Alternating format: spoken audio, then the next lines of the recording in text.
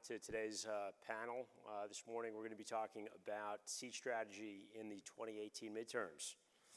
Uh, I do want to start with pointing out something that's perhaps, um, perhaps fairly obvious, but I think very, very important, which is that um, whatever concerns you most about the present administration, um, be it health care, immigration reform, gun laws, their attempt at dismantling the EPA or denial of climate change, um, North Korea, judicial nominees, gerrymandering, Russia, it's a long list, uh, gross incompetence. The point is, the point is, whatever your issue is, it's going to be pretty hard for us to get much done unless we take back seats in 2018. And we need your help. Uh, so midterms are typically a referendum on the president. If they're not very popular, their party tends to lose seats. Uh, given the historically abysmal, abysmal approval ratings of our current president, you would think that we're going to clean up in 2018. Um, but the fact is that we actually face some pretty, pretty serious challenges. Uh, so we're going to talk about those challenges. Uh, we're going to talk about what's being done to overcome them, and very important, we're going to talk about how everybody, how you can help. So we have a truly incredible panel of activists up here who are uh, leading the charge to make certain that Democratic candidates have the greatest possibilities of winning their races. Uh, my name is Michael Cantor, and um, I'll be moderating. On our panel, we have uh, Pururi, who's co-founder, CEO of Voter Circle. We have uh, Toby Fallsgraf, who is the senior digital strategist at Swing Left. Uh, Rita Bosworth, who is co-founder, executive director of Sister District. And we have Deepak Puri, who is co-founder of Dem Labs. And, and we have Catherine Vaughn, co-founder, CEO of Flippable. Um, and by the way, towards the end, uh, I'm going to try to save a little bit of time, and we will be opening up the floor to questions. And from what I understand, I'll be throwing out a microphone. Uh, literally, I'm going to be throwing it out. You'll, you'll see. Um, or somebody's going to be throwing it out. So I, I, I kind of want to start off with uh, what I think is the question that most of us want to ask, which is, how are we going to do it? what are the keys uh, what's the, what are the, the, the, real key, the real important strategies to winning in 2018? I know Donnie just talked about some of that, uh, but there are so many factors and strategies that come into play. Can each of you talk about, uh, you know, just a couple of what you believe to be the key strategies for our candidates to win in 2018? I don't know if Sure. Um, you know, as we, as we look at some of the, the groups on, the first thing is figuring out where we need to focus on. And so that's why I get really excited about some of the work that Flippable is doing, that they've done an amazing job figuring out where we need to focus on and which seats can we win. You need to get volunteers together, um, and I think that's what uh, Swing Left and Sister District are doing an amazing job of doing. Um, our perspective is when you look at these local races, and we've done hundreds of these, in our mind, a lot of it really comes down to a popularity contest. You know, at the presidential race, people are focused on Hillary, they're focused on Trump, they have issues. At the local level, if someone you've met at the coffee shop, if he's your friend, you're going to more, be more likely to vote for him. And so what we do at Voter Circles, we're trying to figure out who are the key influencers in every community and connect them to everyone around them. And if your local soccer mom or PTA leader or school board president or city council person tells you to vote for somebody, you're going to be a lot more likely to do it. And so we're trying to bring that personal touch and have everything be friend to friend versus be uh, cold outreach. So that's kind of um, our view of the world. Right. So for swing left, I think uh, you know this isn't a, it's not a radical shift of strategy uh, in terms of trying to win elections. I think the the big change or what the swing left is trying to do is to empower volunteers to own the, the districts we think are most winnable um, and do it now. Uh, you know, more than a year out from an election that most people don't start paying attention to until you know 30, 60, 90 days out. Um, And I think the, you know, that involves voter contact, of course, grassroots fundraising is a big part of it. But the, the, the key thing, I think, and why I'm so encouraged by this room, this turnout, is uh, this, the need for cultural mobilization to make this, this moment in the 2018 elections as big or as close to being as a presidential like level election uh, as we can get. You know, I think most people that signed up for Swing Left um, did so because they needed to do something to try to stop Trump.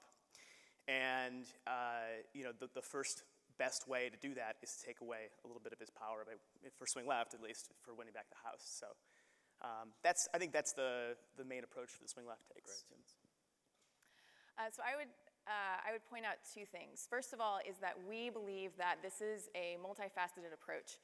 Um, we at Sister District focus on state races. Now, we very much want to win back Congress, but we don't think you can win back Congress in a sustained and long-term way without winning back the states. We need 24 seats to flip in Congress in order to win back Congress. 16 of those 24 seats are gerrymandered by the states. And so the reason we're focusing on states is because we have to build that power from the ground up. The, the, system is literally rigged against us right now. We have to even the playing field, and then we'll be, we will be able to win back and keep Congress. So that's why we're focusing on the states. And then the other thing that we at Sister District do, which I think is similar to what um, actually Swing Left and Flippable do, is we are addressing the problem that Democrats are a majority of the country, but we don't control any branch of government. We don't have the Senate, we don't have Congress, we don't have the presidency, we don't have the Supreme Court, and we don't have even close to a majority of the states. And the reason is that our electoral system uh, favors uh, geographic locations over population, and Democrats tend to be clustered in small population areas. So we have the majority by 3 million votes, but we don't have any power. So we need to bust through political boundaries, and we in blue areas need to be supporting the most important races in other parts of the country in order to rebalance the power.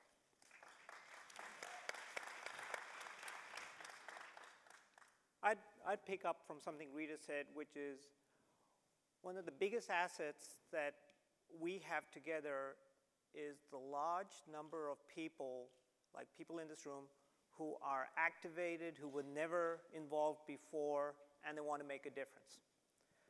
That's one. The second thing is, how do you get this activist energy and passion to make a difference in an election? Because we can do all kinds of things, but if it doesn't convert into a vote and it doesn't convert into an elected official, we wasted a lot of people's passion and time. The second element is technology. Technology like Voter Circle, Hustle, others can empower the activists to do more. What we believe at Democracy Labs, like Donnie said, is we've got to combine the activist energy, get them connected into campaigns, empower the activists with technology so they can do a more impactful engagement. And so that is the connection that we're trying to enable. Awesome. Um, I love tag teaming with Rita because she makes all of the great arguments for me um, and very articulately. so um, I guess like everyone kind of said great things, so I'll keep it short. I think that there are two, two main points I want to make. One is um, balancing the kind of short-term and long-term priorities. I think as, as Rita articulated, um, we, I think we need to do everything we can to win back as many seats in Congress uh, sooner rather than later, but we also need to be investing in kind of the unsexy piping and plumbing of our system that will actually allow us to win seats um, in 2020 and beyond. I, I think a potentially, a really bad outcome could be making some gains in 2018 and 2020 in the House, thinking that we're doing fine, and then allowing Republicans to do the exact same thing with gerrymandering and voter suppression that they did in 2010, again in 2020, and then losing the House for another decade. I mean, if you think Trump is bad now and it's been like eight months, I mean, think about having Republican control for another 13 years. Um, so I think balancing those long-term and short-term priorities is really important. And then the second thing I think is just kind of summarizing what people have said. I think that we need four, sorry, I have lots of lists of two and fours. I think we need four things um, for Democrats to win. We need data to identify which districts to target. We need uh, candidates to run in those districts, really high-quality candidates. We need to get those candidates appropriate funding, at least to, you know, I think it's, it's an arms race with Republicans and one that frankly will probably never win, but we need to get sufficient funding to these candidates. And then we need to make sure that those candidates are using the funds in, uh, you know, really responsible and effective ways, using whether it's technology, volunteers, um, running really great campaigns. Um, so I, we've kind of, we have, a, I guess, a major and a minor, you know, we're focused more on the fundraising and data at Flippable, um, and then there are other groups that are really focused on volunteer mobilization, campaign management, and candidate selection. All of them are really important, and I think as, as we move from 2017, where I think there's this really diffuse progressive energy out there, to 2018, where I think we need to be a little bit more on lockdown and, and kind of um, more streamlined, I think that there need to be better linkages between these parts of the pipeline. It, it's hard for any one organization to do both the short-term and long-term strategy and the you know, candidate selection, data, fundraising, and, and campaign management. So are there ways that whether it's funders or convening organizations can, can bring us together and kind of um, be the seams between organizations working in these different pieces? Great. Um, Toby, uh, swing left is focused at the top of the ticket, strategically focusing on the House. Um, I'm to hope this works and try to pull up a map of the House race. There we go. Um, that's a little scary. Yeah. Um, I, I, I think it's fair to say that this is the race that's probably most on the minds of Democrats. Can you talk about why swing left chose specifically the House? What are our chances of possibly taking over majority here, and about some of the strategies that you're utilizing? Sure. Um, yeah, and I think that uh, this panel is amazing. I really like the long-term infrastructure uh, and long-term investments piece is, is, is super important as we think about, you know, 2018 is we need to win. We absolutely need to win. But if we lose again in 2020 or 2022, um, that's not going to be great. um, so, you know, so Swing Left actually started, uh, the founders, uh, you know, after the disastrous election realized our next best chance uh, to, to kind of insert uh, or have uh, Democratic power um, or stop the Republicans from having all the power in, in Washington is to uh, win back the House. And so uh, I think the, the, problem they immediately ran into is they didn't know, you know, living in, in uh, you know, Massachusetts, in rural Massachusetts, where do I find my nearest swing district? And so they built the technology for anybody to go look up where the nearest district that could actually be won, uh, whether that was Hillary outperformed Trump there or Democrats have performed well there over the past several congressional cycles. Um, and, you know, in, in, theory, a winnable seat. Um, the, and, and just give people the opportunity to find those, uh, those swing districts and actually start to take ownership of them. So uh, that to me is, the, is the, the only reason swing left is, is here. Uh, we, there was like one idea, this, this crystallized moment of we have, uh, we need desperately to move now to get people to start thinking about these races and these seats are winnable. Uh, but if we don't th start thinking about them until 90 days out, uh, we're already, it's already too late. So, uh, you know, th th that's the, the general theory on this, the strategy piece of this. Um, in terms of like what we're, what we're doing um, that I think is uh, exciting is, you know, one of the, there's voter contact uh, is, is, is, being prioritized uh, pretty high uh, on the, um, on, on, the list of things we're trying to get people to think about doing. Um, it's, it's not easy to a year out to get people to, to think about going to knock on doors uh, right now for the 2018 elections, right? Um, and you know, one of the other ways that we get started to get people to think about these elections is, you'll say, if you're not going to go knock on doors, um, we have, uh, you know, you can chip in in other ways. So, our swing left district funds are this pool of money that we are going to, we're collecting at grassroots level um, to hand over a giant check, maybe even a giant check to uh, the eventual nominees, Democratic nominees in these races. And I think they've already, we've already raised something like $1.7 million for, uh, in these 65 districts um, for, for Demo eventual Democratic challengers, which is not nothing. I mean, you do the math there, it's pretty, uh, you know, a $20,000, $30,000 check um, on average is, is a big deal to a campaign, um, especially at that level. So, right. And hopefully, you know, there's many months to go. Great, great. Um, Rita and Catherine, uh, you guys like to work together? um, I, I- I know you're, you're, you're both focused on state races, and I think for a lot of us, we don't fully understand just how important state races are. Some people tend to call them down ballot races, which I don't like that term. It sounds condescending, down ballot. These are really important.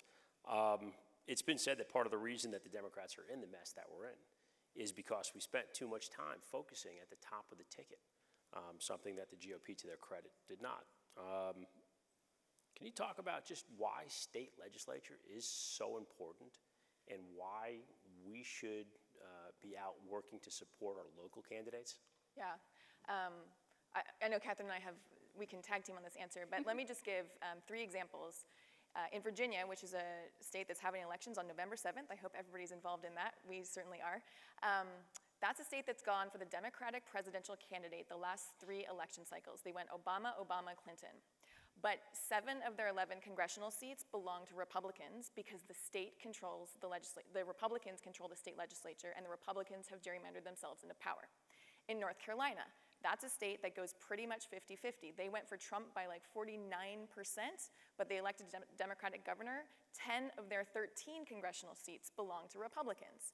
In Wisconsin, the case that's in front of the Supreme Court right now, that is in front of the Supreme Court because when they uh, drew the maps after the 2010 census, 48% of people voted Republican, and yet 66 of their 99 seats in their state legislature were controlled by Republicans. So this is why states are so important. This, when the states, when the Republicans control the state legislatures, they gerrymander the districts both on the state level and the congressional level, and then we lose seats in Congress. So we can try to win back those seats in Congress, and maybe we win in 2018 or 2020, maybe we don't.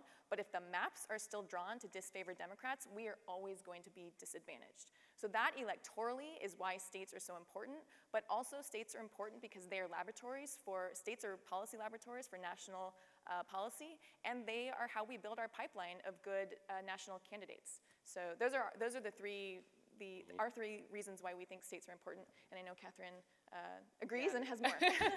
Well, I'll just echo that. I mean, I think you did a great job explaining the gerrymandering in particular. So I, state elections are national elections because they determine the outcomes of national elections. I won't go into detail there. Um, I think on the policy laboratory front, I mean, there, states are both where policies are, are cooked up, whether it's the Affordable Care Act having its origins in, in Romney-controlled Massachusetts, um, or you know, a number of, uh, whether it's marriage equality or a number of other decisions that are made at the state level, then get scaled up nationwide. Um, they're also where national policy is implemented. So if you look at the inequities and how the ACA has been rolled out because of um, governors denying Medicaid expansion to you know, the low-income people in their state, it, it's the policies that affect our lives are the policies happening at the state level. And I think a lot of people don't, um, don't realize that, are really focused on kind of the, um, the, the national news cycle and kind of the, the emphasis on, on the Trump administration, but it's really happening in the States. Um, in terms of bench building, I like to, you know, I think this is a, a good place to use the example of Barack Obama. Um, Obama is the product of a series of flips. So he was elected to the state senate. I'm probably gonna get the dates wrong. I was, I was in high school and I saw the Obama yard signs all around, and I used to think, oh, Obama, that rhymes with Osama. Is he ever going to get elected? Um, and, you know, so he was elected to the state senate. The state senate flipped um, in Illinois from Republican to Democrat, giving Barack Obama an opportunity to make legislative accomplishments that would then allow him to run for U.S. Senate. The U.S. Senate flipped in 2006 from Republican to Democrat, giving him a legislative platform that he could use to run for president. Um, so when you think about the, the importance of flipping chambers, it's not just about you know, winning seats for the Dems. It's not about like, a fun game. It's about giving, um, building a bench of politicians who have real accomplishments that they can then use to run for higher office. Um, and then I guess the, the last point I'll make is um, you have a much higher ROI investing in these state races. So they're really cheap. If you think about the average cost of a state race, it's $120,000. Um, the average cost of a House race is about 1.2 million, so 10x, and the average cost of a Senate race is 10 million, so 100x. Um, if you think about the ROI on your investment in state races, given their broad implications for national races, you can't find a better deal. Okay. Uh, Deepak, Dem Labs. Um, you guys are a little unique in that, you know, you haven't developed your own uh, platform as much as you're working with all the existing tools and resources and, and recommending to candidates what best, uh, what, what, which tools will be most effective for their campaigns.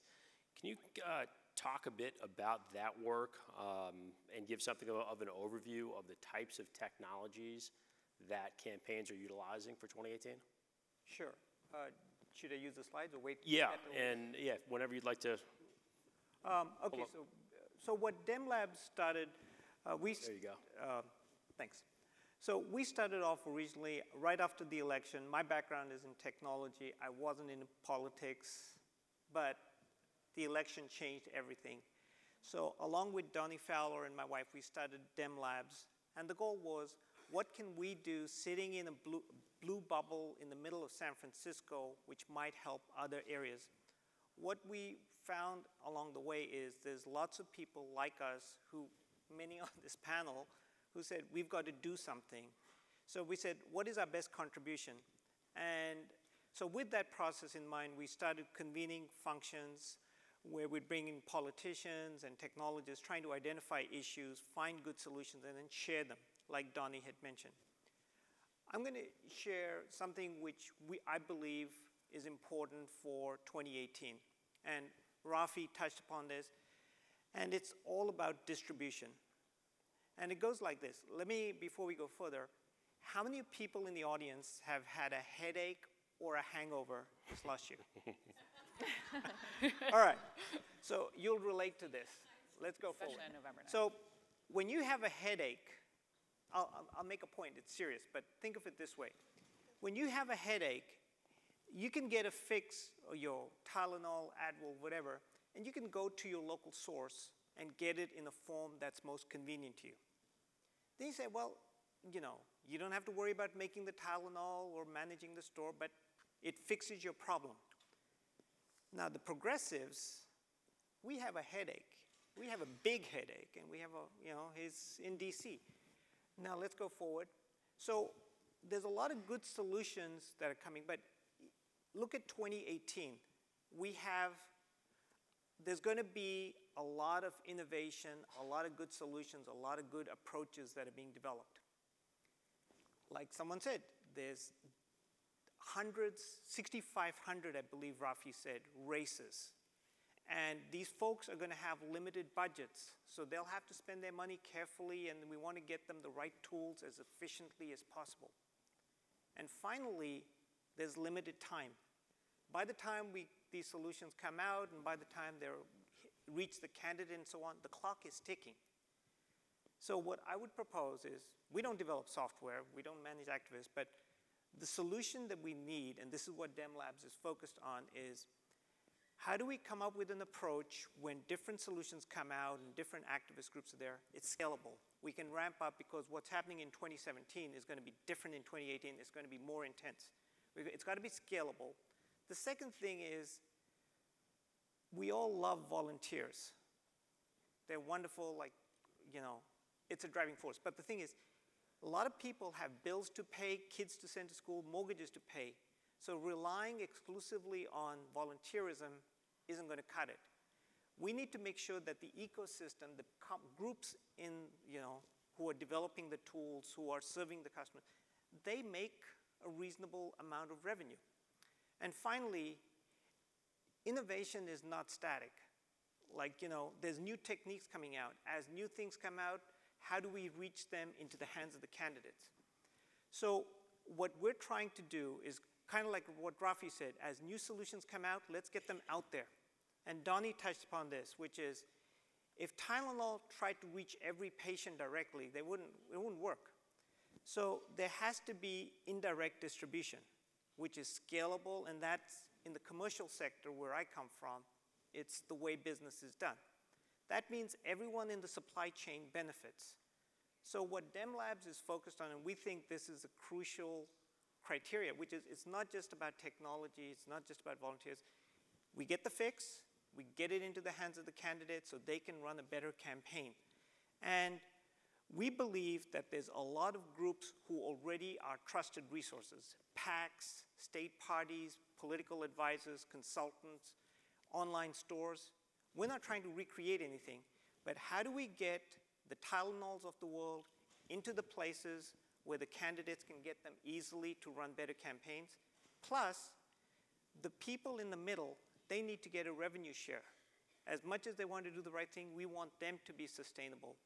So Dem Labs is focused on getting new innovative technologies into the hands of the candidates as fast as possible and making sure that the people involved in the process are fairly, you know, incented to do the right thing. That's, that's what we're all about. Right. And on the last slide, if you're a volunteer or you have a great solution or you're in supporting candidates, we'd love to talk to you because we want to kind of facilitate this distribution.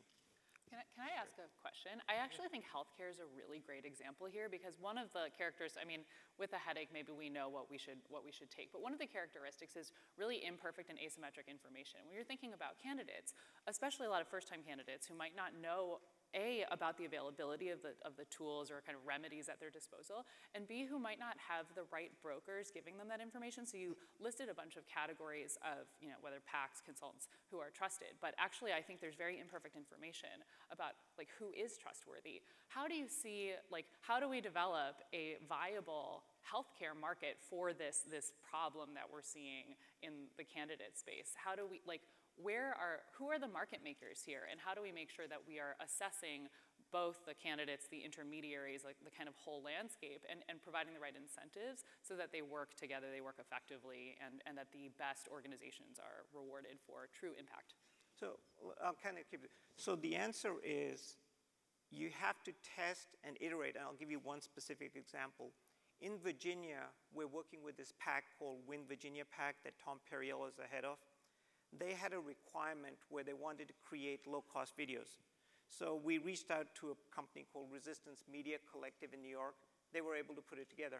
So to go back to your thing, it's got to be in touch with the campaign on the ground, pulling in an expert and trying it. Did it work? Was it cost effective? Can they scale?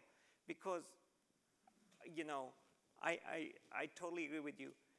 We want to get people who are doing the right thing by the candidate, and because that's the only way the innovation will get through, because otherwise, we're in the, you know, we'll be still buying media ads in 2018, which does no one that good, that much good.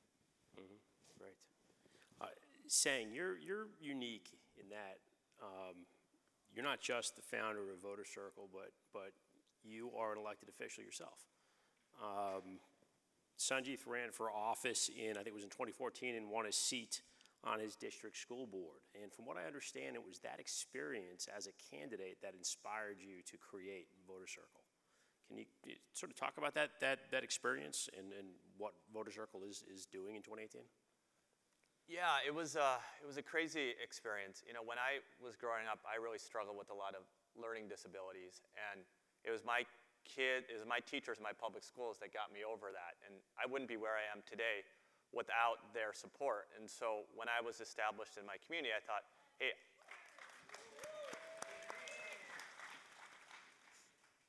and you know, I, I owe everything to them. Um, and so I wanted to do the same for the kids in my community. So I ran for my local school board, and we didn't have a lot of money for the campaign. We had a budget of $4,000.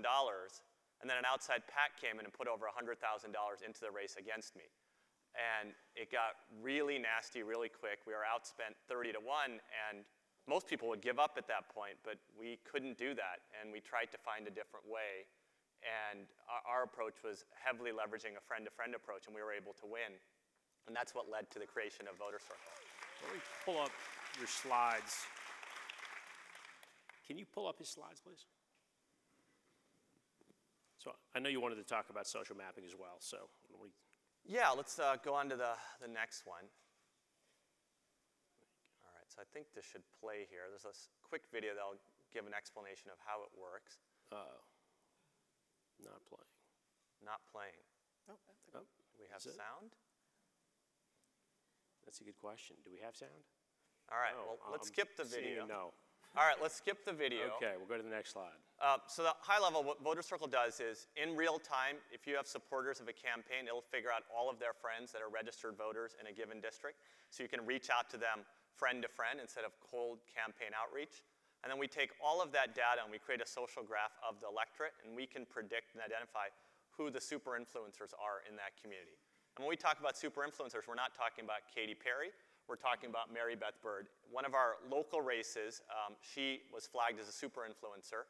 And the campaign reached out to her, and they were surprised to find out that she actually knew 1,200 of the voters of the 30,000 in the district. And they didn't know why. Turned out her nickname was the mayor, and she had been the high school PTA president, the middle school PTA president, and the elementary school PTA president. But this was a decade prior, so people had forgotten. She'd never been an endorser, never run for office. She spent five, ten minutes on Voter Circle, sent out her message. Over 600 people opened it. She got over 100 IDs, and it saved the campaign over 50 hours of phone banking because they were doing about two IDs per hour when they're doing phone or door. Um, and so they could basically remove all of her phone, all of her IDs off of that, and they could still do phone and door to everybody else that they couldn't reach. Um, and the power of this is, we, this campaign did it during the campaign. What if you could have those super influencers before a campaign? And so this is what we're trying to build with partners like the DNC and others, is trying to build that map so the work you do at state level can be used for congressional and can be used for uh, governor's race. And, and at my level, at the school board level, you know, 6,500, that's state ledge, there's 500,000 elected officials in the US, and most of them are local city councils and school boards. And that's the pipeline that gets all the way up. So we wanted to build something that you could win a race with almost no money. And that's what we've kind of developed. Uh, do you want to go on to the next slide?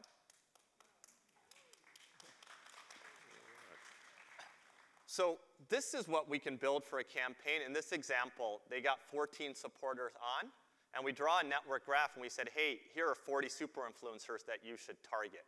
And, and then go on to the next slide. And what's crazy, if you click on any of those super influencers, we'll tell you those first degree connections and how to reach out to them. So you know when you go on LinkedIn, it tells you who's the friend of a friend. Imagine if you could do that with your electorate and know who the soccer mom is and who everybody that they know and how to reach out to them. That's what we're able to build. Um, and if you're successful with this, go on to the next thing. Um, you can have a super influencer map of your entire electorate. So this is a congressional race that they, we did. And they had super influencers in every single community. And if they were a district that they wanted to target, they would get on and they'd say, hey, who's the influencer that we know in that part of town? Let's have them spend 10 minutes and reach out to all of their friends. And so if there's a certain part of town that you're weak in, so imagine a presidential race and you have to win Ohio or Florida and you have to win certain precincts. And you could actually have Hillary come in and she, all right, she, we got to win that district. All right, here's the 50 people that Hillary needs to meet that each knows a 1,000 people in that town. And personally, with one degree of separation, she can reach out to 50,000 people. And, you know, people know about Joe the plumber, right? But what if you could find the Joe the plumbers that actually know everybody and you can actually have the candidates reach out to them in advance and you have that data set in advance? This is something that's permanent that you can build, that we can build as a party that grows, that becomes a sustainable advantage that you can reuse cycle to cycle to cycle. Great. Um, So if anyone wants to just reach out to us, it's sang at votercircle.com. That's sang like a sang a song. And everything we do is uh, cheap to free. Um, for a lot of races, we have a free offering that works amazingly well. So I, I have like a dozen questions that I'm dying to ask, and that clock says we have a couple minutes left. so uh, I guess I didn't plan well here. But um, I do want to open this up to the floor, so I want to jump to that and give people an opportunity to ask some questions. And as I mentioned, uh, mics were going to be thrown out. Um, somebody has those? S- Somebody have the mics? Yeah, Have him go. He can Oh, speak loud. Here we go. So, you know, you guys are probably mostly in blue. Oh. All right, you guys are probably mostly in blue areas. what are you doing in the purple areas to engage? That's where the delta is. Yep. Great question. Yeah, I mean, I think that's where most of us are really focused. And so um, we are doing, for us, we're doing a combination of um, just digital marketing, digital media, um, bringing on users not just in New York and California, but in Ohio, in Virginia, where there are elections. We have thousands of volunteers who are, um, you know, on the ground knocking on doors and bringing their friends in and using tools like Sangs to, to get everyone involved. So I would say, like, we, our focus is to get is to build a national movement focused on state races, and that national movement especially needs to include people who are in those districts and in those states. And um, you know, a lot of our volunteers are in blue areas because there's this, we're tapping into this frustration of people in blue areas that want to help somewhere. But um, equally as important for us is um, having a presence in the purple or red areas and evaluating what infrastructure is there and figuring out how we can amplify that and build bridges between the volunteers in blue areas with the folks that are in the areas that need a little bit of a boost. And so that absolutely is a focus. Um, and that's going to be, for next year, something that we are embarking on is trying to identify and amplify the, the existing infrastructure so that we can um, kind of all be more connected and, and move forward together as the majority that we are. In Virginia, it's blue, it's purple, it's red, it's, it's everything, and we're spending a ton of time in Virginia. And what we've developed there that we're launching is someone will get a link that it'll find all their friends that are registered voters in Virginia. It'll strip out all the Republicans, and so it'll basically find all your friends that are Democrats. So if you're in an area where you have a small blue base and you want to grow it, and you're afraid of reaching out, Voter Circle will find all your friends that are Democrats. In Virginia, what we're doing is voters will get a recommendation on who to vote for based on where they live. So if they live in one part of the state, they'll say, this is the Democratic delegate you should vote for, and you should vote for Ralph Northam. If you live in another part of the state, they'll say, hey, this is a Democratic delegate that you should vote for. So it's customized, location-based messaging for that voter, customized exactly to who you can vote for. So I hate to say it, but we're out of time, and we have a really busy schedule today. Um, I, I just want to, one thing is you did hear uh, the word volunteer a lot. Um, that's incredibly important. And uh, a couple of folks here even put up slides and said, here, email me, here's my email address. Please go to their websites, um, sign up, volunteer, help out. That's the biggest, uh, probably the number one strategy that we're going to need to have an effect in 2018. So thank you very much. Thank you.